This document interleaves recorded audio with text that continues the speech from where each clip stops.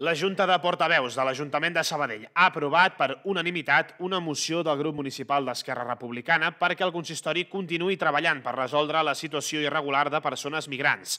L'Ajuntament s'ha adherit a la línia ACOL de la Generalitat, una línia d'ajuts en la que treballa ja des de fa mesos destinada a la inserció laboral i social de migrants.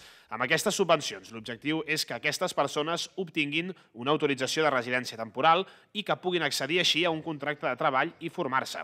L'acord insta el govern municipal a demanar el màxim de recursos a col possibles per promoure la contractació de sabadellencs en situació irregular.